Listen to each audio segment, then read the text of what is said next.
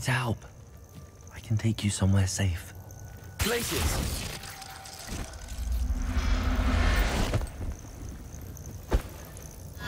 Let's get you back to the room.